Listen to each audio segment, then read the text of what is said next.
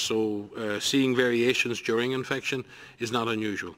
Uh, with regards to uh, recovery and then reinfection, uh, I, I, believe we do not have the answers to that. That is an unknown.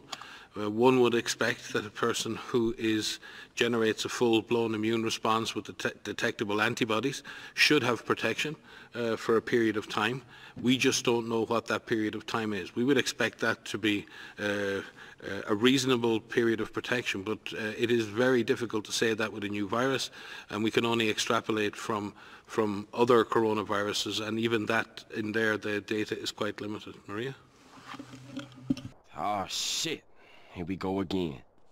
Oh, shit. Here we go again. Oh, shit. Here we go again. Oh, shit. Here we go again. Oh, shit. Here we go again. Oh shit. Here we go again. Oh shit.